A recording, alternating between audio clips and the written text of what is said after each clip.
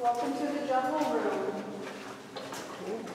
In this room, we are about 364 feet below the surface. This is the lowest that we will be on the tour. From here, the cave does continue about 16.6 miles.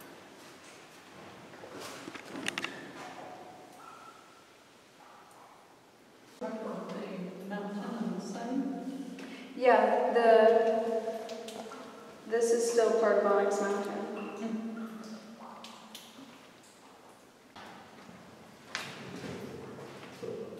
Wow, look at that.